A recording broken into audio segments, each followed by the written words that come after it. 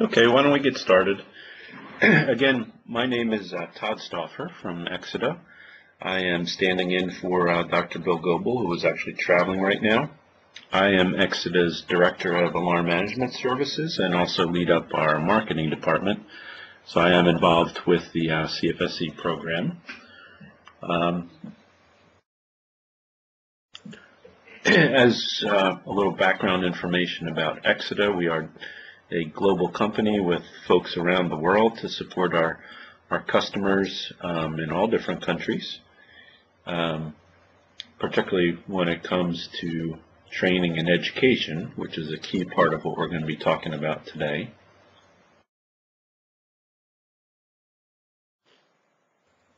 We offer a variety of products and services, consulting services, that help customers understand the processes that they need to go through or to conform to the processes that are identified in the standards. We also have engineering tools to help people comply with the um, functional safety standards, for example, involved in product certification.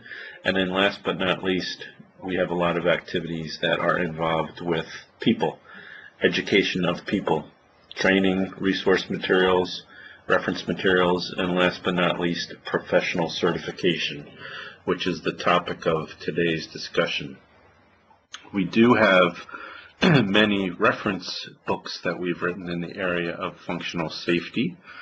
Um, much of this is what we draw from as part of our educational material associated with the personnel safety certification program and also in terms of creation of the questions that help demonstrate the competency.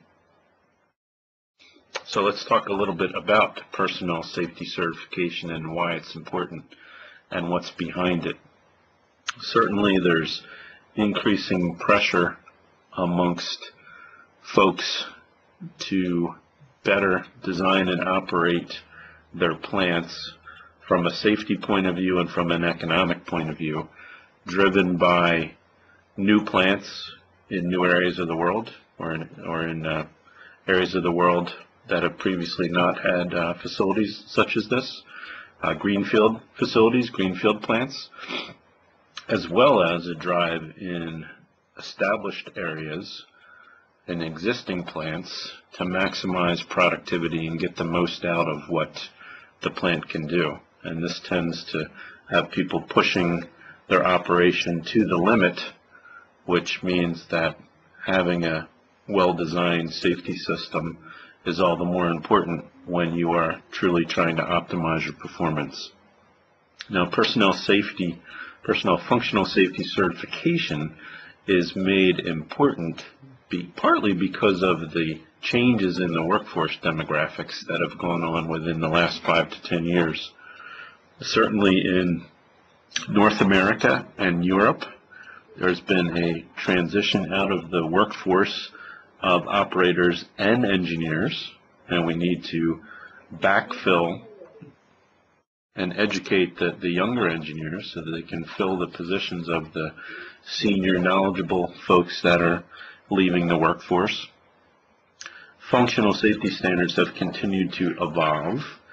Certainly 61508 came out with a new version in 2010, for example, and the evolution of functional safety standards has led to more countries and companies adopting them and looking at them to make sure that their employees and the people that they do business with are complying with those standards. And last but not least, there are significant new challenges from technology, such as the drive to integrate um, basic process control systems and safety instrumented systems in, in a single common um, system, as well as the, the threat that cybersecurity hackers and uh, viruses and things like Stuxnet now pose to automation systems or industrial control systems. So this has all made the need for knowledge and education and um, personnel enhancement uh, more important. Let's take a look at um, the role that people play in preventing process safety accidents. They play a significant role. Several studies done by the uh, HSE in the UK spell this out. One study showed that um, the majority or the major area that led to accidents was errors that occurred in the specification phase of the safety instrumented system lifecycle. Another study um, in the chemical sector identified some of the specific areas where uh, mistakes had been made. Many related to the way we design and operate our plants from the human factors point of view. In um, studies that have been done and, and books that have been written, written by Trevor Kletz, he's done significant research and documentation into process safety accidents over years and years and years. And the common conclusion that he has come to is um, all accidents are traceable in some way, shape, or form to human error. So this human element of engineering is really, really significant. And that's one of the main purposes of creating a personnel functional safety certification program to help people enhance their skills in these areas and to allow them to demonstrate their competence so that we can reduce the chances of these human errors that can lead to significant process safety accidents. now the IEC 61511 standard and the functional safety standards in general talk about different types of design, reliability, focused on systematic faults, systematic failures, as well as random failures. Now, a lot of the, the tools that exist in the world for safety system design relate to analyzing random failure analysis of components and incorporating that effectively into system design. One of the other studies that was done by the HSE looked at a whole bunch of accidents that had occurred and looked at each one and the cause and determined whether it was from a random failure or a systematic failure, meaning from a human error. And the study found that uh, only 15% of the accidents had actually been caused by random failures, and that 85% were due to systematic faults. Again, this is the, the idea of human errors creeping into process safety design. So we can design the and create designs for the, the most reliable hardware, but if it's not applied correctly, um, we can still end up with, with problems and issues. And that's what safety certification, functional safety certification programs are for. Now the functional safety life cycle defined in the IEC 61511 standard describes all the tasks that need to be performed to comply with the standard um, by executing these tasks appropriately that helps to eliminate or minimize the potential of systematic failure.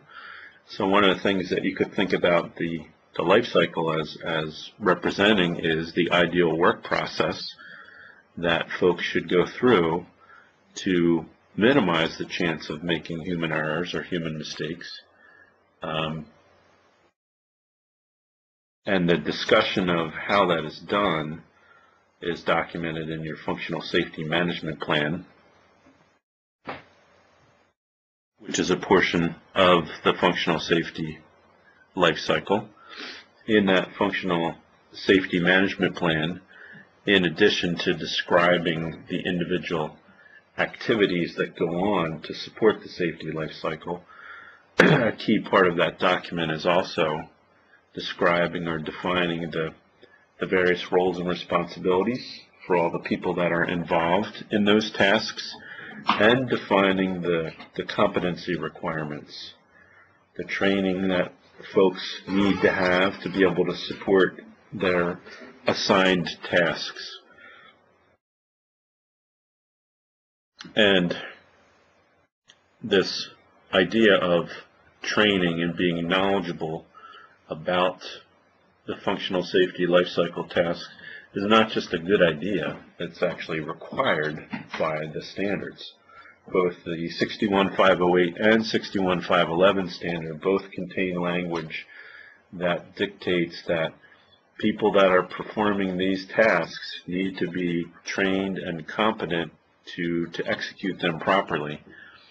And it's all our responsibility to make sure that that, that happens which is one of the key reasons for the creation of a safety certification program for people to help them, number one, get the training and experience that they need, and number two, to help demonstrate that they have the experience and skills to meet these competency requirements in the standard. How else would one determine whether someone is competent or not? competency can be in the eye of the beholder unless you have a standard program, such as what we're going to talk about today, where people are tested against a body of knowledge representing the standards to assure that they have an appropriate level of expertise. so I'm going to show you an example of how one customer had included were defined the roles and responsibilities and necessary skill sets in their functional safety management plan based on their task. In this case, it has up. They had identified for two different levels of personnel, uh, an entry-level person, for example, and a senior person, what uh, background and requirements they had, as well as their typical um, tasks that they would be worked on, that they would work on or be expected to work on. Here's another example, and you can see that one of the easy ways to specify or ask for competency is to see whether a person has uh, a certification. In this case, from the CFSE program, um, at the CFSE or CFSP level. We'll talk about what those two mean. So it's a quick and easy way to to specify or to ask for uh, a certain level of competence. And someone who has achieved those certifications has demonstrated a specific level of competence. So it's the benefit of the certification program. One of the key ones is that it helps companies know who is certified and who is not, and gives them a basis for um, determining roles and responsibilities. Now, personnel functional safety certification programs have been around a while. Since um, 2000 was when the CFSE program was first launched as a collaboration between Exida and TV. It was then uh, turned into a, a nonprofit. Um, the CFSE Governance Board was created in 2002. Other programs have been introduced over the last um, eight to ten years as well. Another one from TUV in 2004. ISA launched one here in the U.S. in 2008, and TUV uh, SÜD as well in 2008. Now, we're going to talk a little bit about some of the similarities and differences between these programs. Um, I'm talking about them all as certification programs, but in reality they are not all considered certification programs. For example, the ISA program is a certificate program, which is different. And we'll talk about what those differences are a little bit later. Now, the CFSE program has four different um, domains that it addresses today. First is process safety, second is machine safety, and then these are for practitioners, users, essentially, engineers. And then there's um, two skill sets that are designed to address uh, product developers for both hardware and software. So the CFSE program today addresses those four different knowledge domains and certification is available in each four of those specialties. Now, having a functional safety certification program and getting certification has significant benefits to, to companies. As we saw a little bit earlier, it's, it's a way to provide proof of competence uh, and to quickly and easily weed out what, what people are qualified for certain roles. One company that we know of as a means of building a safety culture within the company encouraged their engineers to all get CFSE certification with the idea that when they when they achieved that they would all receive a thousand dollar bonus. So obviously that company took it very important, um, took it very critically that um, folks should focus on that um, task and rewarded them as such, which was a, a great way to help make sure that functional safety was considered important within the company. For individuals, it can help increase your functional safety skills because remember, potentially there is a educational element to certification. There's education and then there's demonstration of competence. One can demonstrate competence without education, but for most people there's an educational element that helps them be prepared so that they're able to demonstrate competence. So that helps them acquire new skills so that they can do new things within the company, become more valuable employees to their company. So the CFSE program then, as I mentioned, was is the first one that was was launched on the market in 2000. We consider it the uh, the global standard, the golden standard. It's the most recognized program around the world. Uh, it is it comes in two different flavors, as we'll see shortly, CFSE and CFSP, E being for expert and P being for practitioner, expert being the, the most difficult and most challenging certification to get, which includes an exam uh, where one needs to demonstrate your knowledge and expertise in functional safety. And the exam definitely is not easy. You need to truly be a, an expert in the functional safety field to pass that.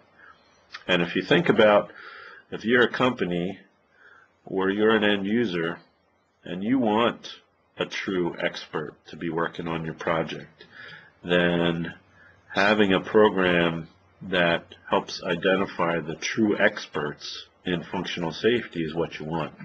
And that's what the CFSE program really, really represents. And that's why we consider it the, the gold standard. Know, as I mentioned, it comes in a, a two different flavors um, today. CFSP, P for practitioner, is kind of the, the first level certification that requires less less expertise, less, less knowledge, less experience and the, the higher level expertise, CFSE, um, the expert certification, definitely requires significant demonstration of expertise as well as uh, pretty extensive uh, experience in the functional safety field. Now, I'm excited to introduce a couple of new programs that the CFSE program or the CFSE Governance Board is rolling out.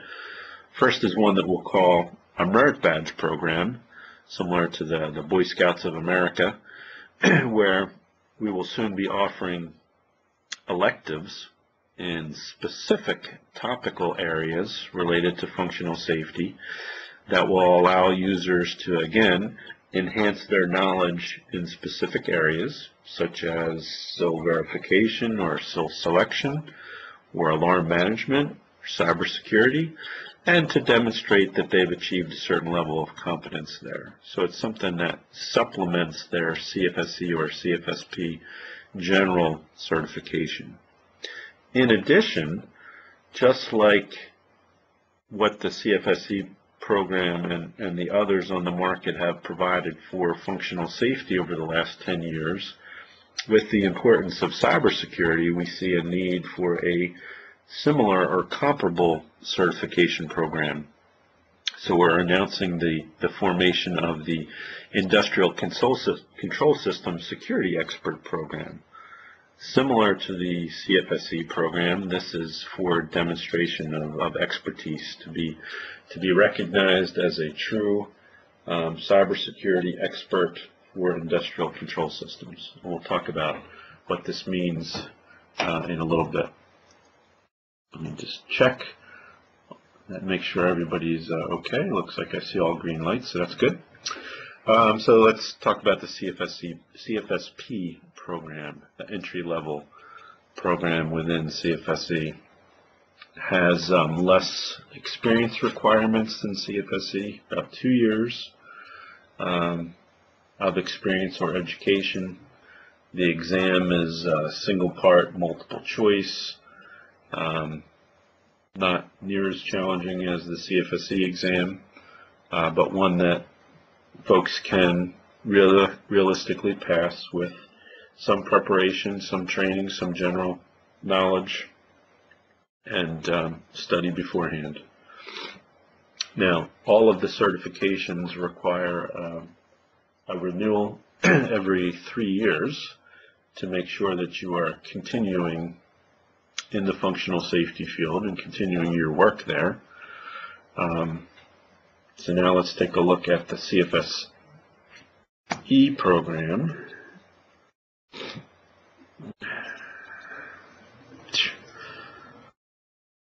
Technical difficulties, I apologize. Okay, CFSE program. Significantly more ed, uh, experience required. Uh, 10 years experience slash education, as well as a, an application that requires references and documentation of your SIS or safety experiences. A couple of case studies where you describe some of the projects that you've worked on to show that you truly have the level of uh, experience that's expected for this certification.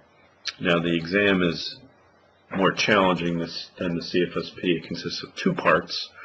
The first part being uh, a multiple choice, and the second part being a uh, word problem or a fill in the blanks uh, freeform um, exam. And again, this also has a, a three-year renewal period. Now, the badge program that I mentioned earlier, again, is specific topical areas that folks can choose to enhance their knowledge in and uh, then take part in an exam to be able to demonstrate their competence.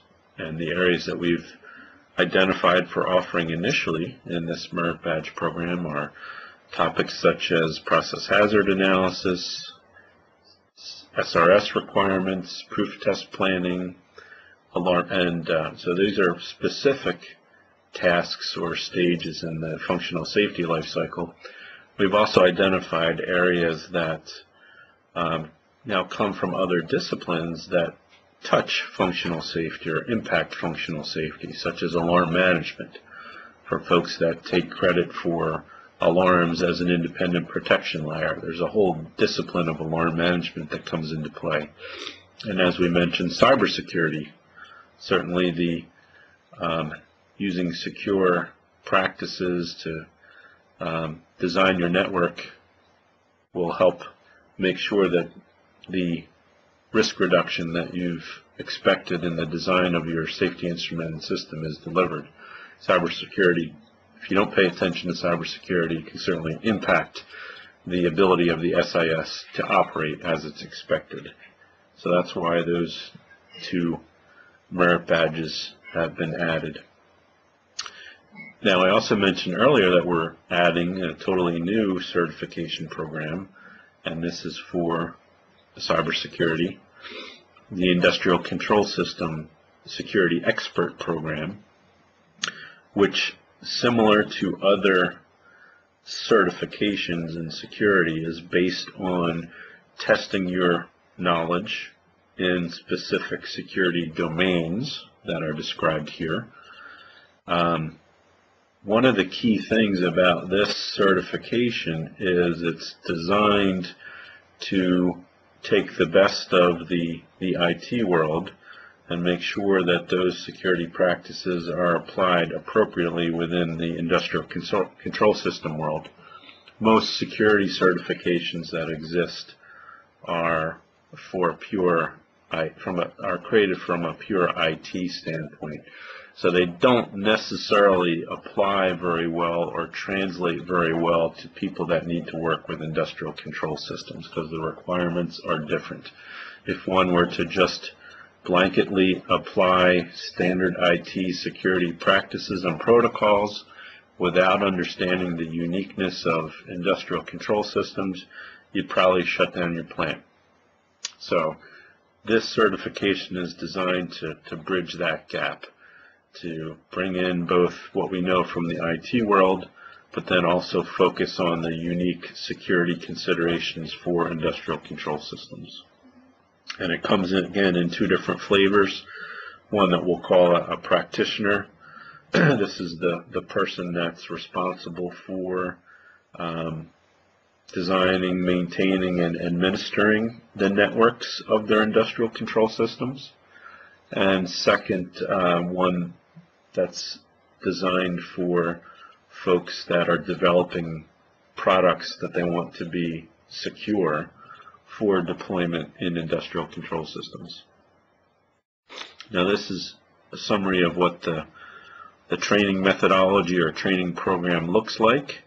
Um, we are offering preparation classes in these different domain areas um, grouped in, in logical sequences here with the idea that someone who wants to complete um, the ICSSE certification, these are all optional training programs, but at the end of the day, the test or the exam will check to make sure that they have the demonstrated expertise and knowledge in all of these areas. So one of the ways that folks can choose to enter this program is to kind of do a self-assessment and see which of these areas they think they're already up to speed on and which ones they need some additional training on. Now the, the first module, the fundamentals of ICS and IT security, doubles both as a module for the uh, cybersecurity expert certification program as well as the, the merit badge program for cybersecurity for folks that are CFSEs and CFSPs today. The difference being an additional module in the merit badge program which focuses on security applications to safety instrumented systems. So this would be the, the class that an existing CFSE or CFSP might take to enhance their knowledge of cybersecurity and how it affects the design of safety instrumented systems with a subsequent exam to, to show that they've mastered those, those concepts. This is the similar layout for those that are in the developer track for the security expert program. Now once you've completed the CFSE exam and have passed it and your certification has been approved, folks are, are given a certificate as well as their own unique logo um, that they can use on business cards and email signatures and things like that to help identify you as having achieved this significant accomplishment.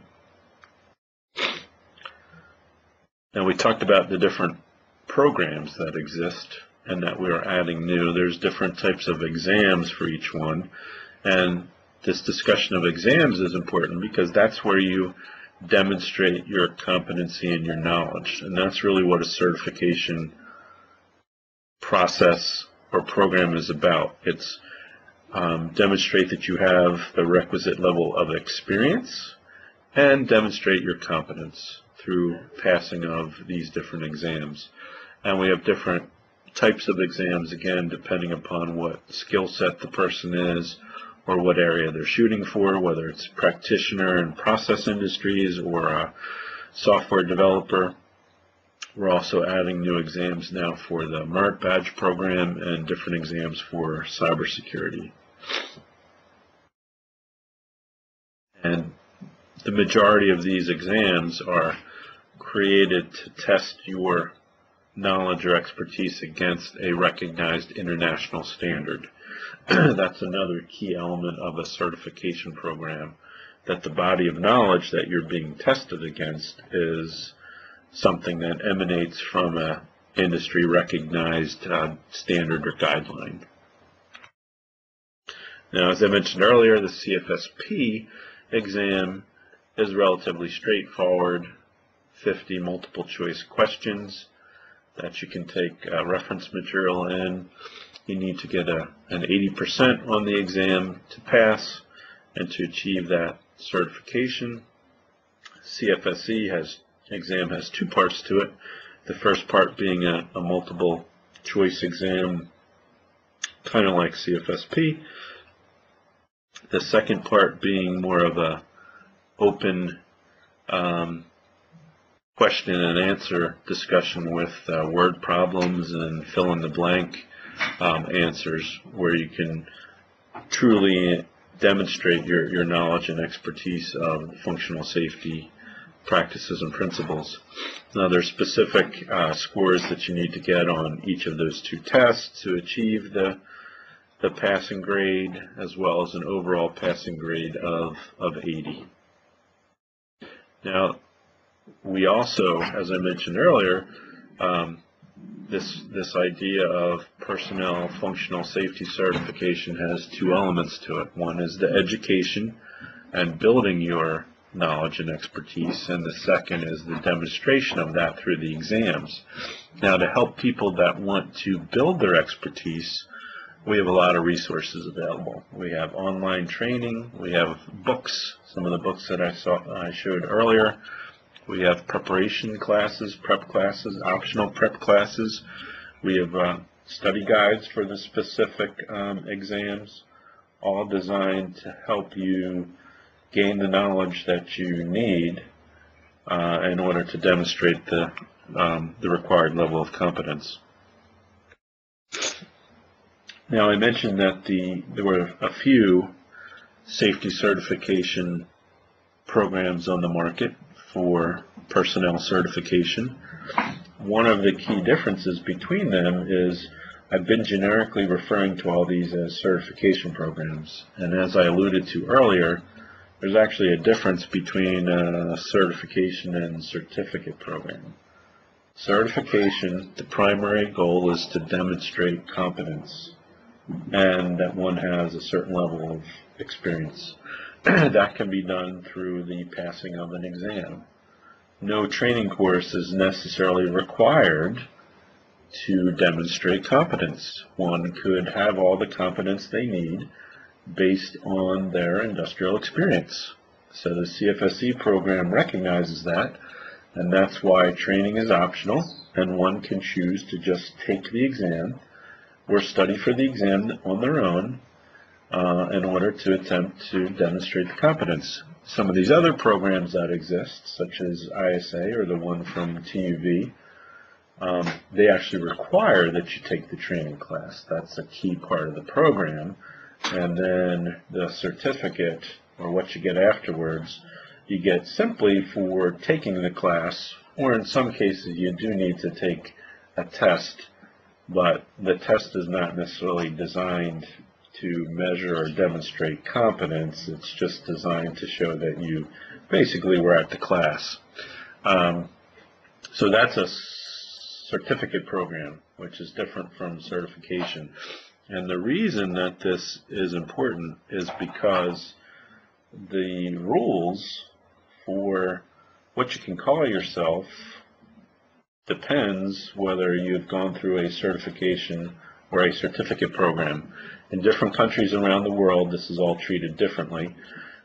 For example, in the U.S., there are certain um, credentials that you cannot use, you know, like the letters CFSP or CFSE.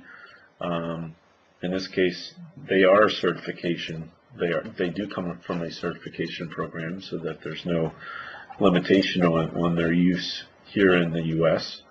But other programs if they're not a true certification program, you may not be able to use those credentials next to your name.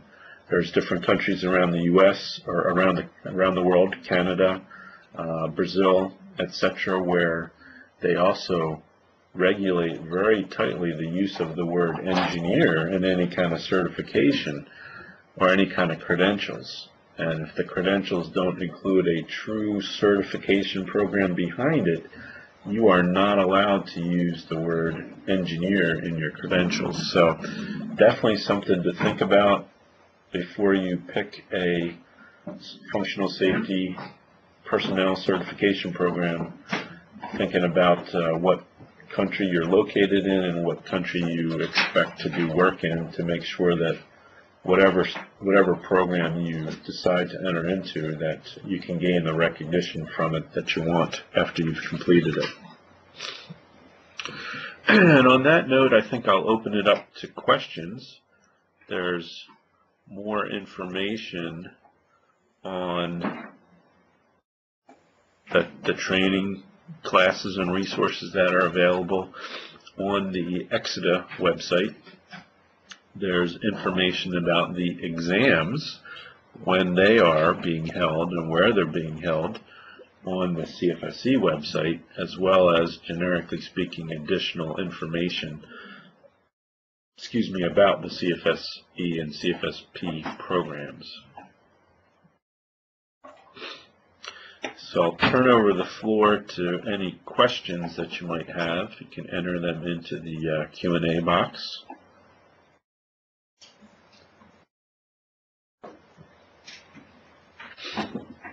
Wait a couple more minutes. Right now I don't I don't see any.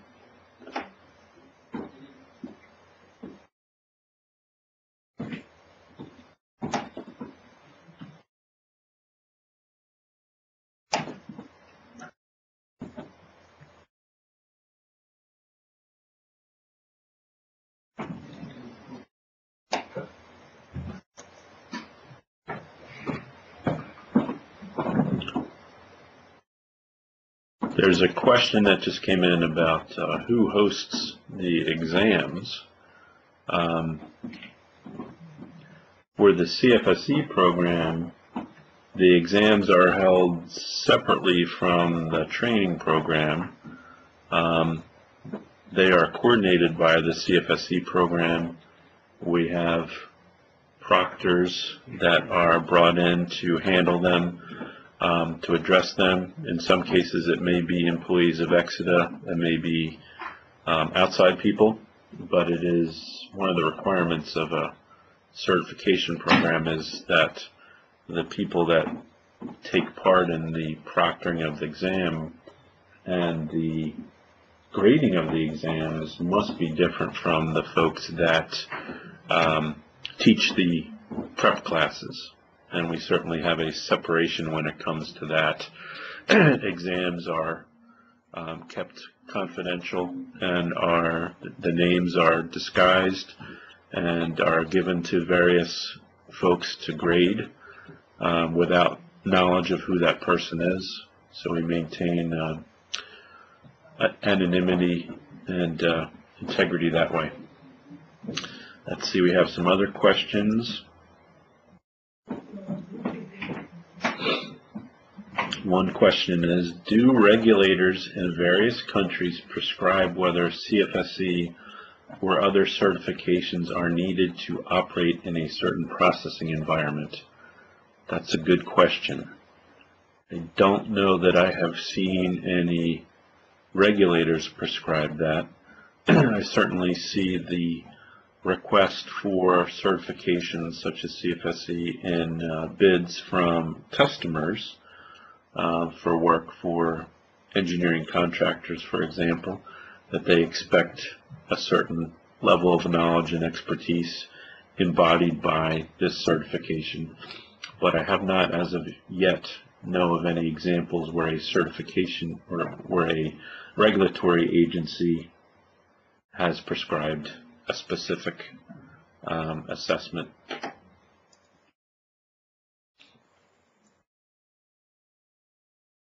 how many, and then there's another question, how many folks hold these four levels of certification now? There's approximately between 700 and 800 CFSE, CFSPs. Last time I looked, it's relatively evenly split, 50-50, 50%, 50%. Um, but in the, the current mode that we're in now, um, more people are getting the CFSPs than the CFSEs. Um, many people are starting by getting the CFSP when they have a few years experience and then later on once they've added additional experience go for the CFSE and then uh, attempt to get that certification. I see another question here.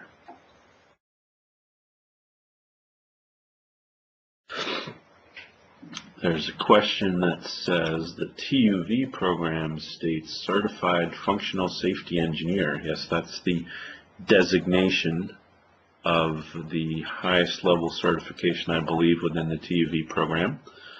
And the comment is that this person has gone through online training to prepare for the TUV certification in the TUV classroom, and online trainings were similar and following up asking about um, the difference be between what I said, a, certification versus a certificate.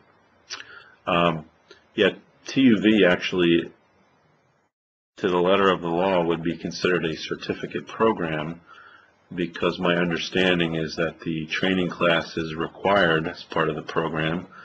Um, one cannot achieve the functional certified functional safety engineer designation without taking the training. And that violates one of the, the pretenses of being a certification program. And there's actually international standards for companies that provide certification programs, and that's one of the key things, one of the key requirements in that standard is whether um, folks are required to take that uh, associated training class or not as part of the certification. Any other questions?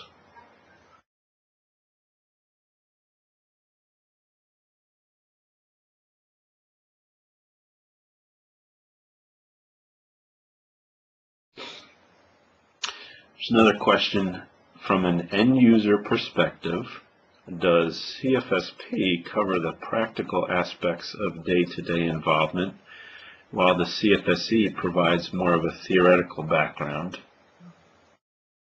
I would say that that is probably a true statement, um, although CFSE has a theoretical element to it, but it also has an element of demonstrating a higher level of expertise the preparation classes are the, the same material, the same concepts are examined in the, the tests. It's just it's a much more in-depth uh, probing of the knowledge base for the uh, exam.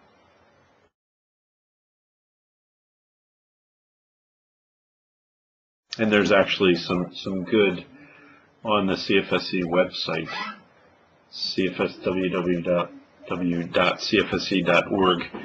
There's some good descriptions of what um, the the expected skill set or roles and responsibilities are for a CFSP versus CFSE.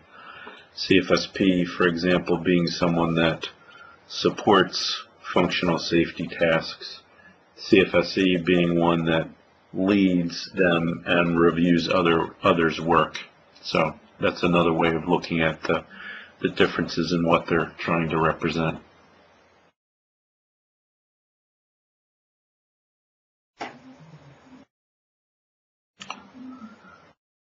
Any other questions? Some very excellent questions here.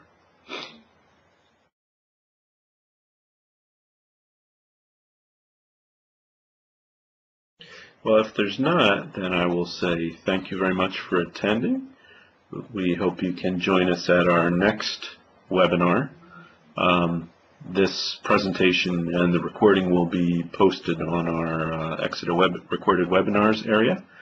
And I encourage you to, to check out the, uh, the websites that I, that I mentioned. And feel free to, to drop me a line, drop me an email if you have any follow-up questions. I can be reached at T Stauffer, so that's T S T A U F F E R, at Exida, E X I D A dot com. If you have any follow-up questions or things that you would like to discuss related to this program. And thank you again for, uh, for tuning in, and we hope you can join us at a future session.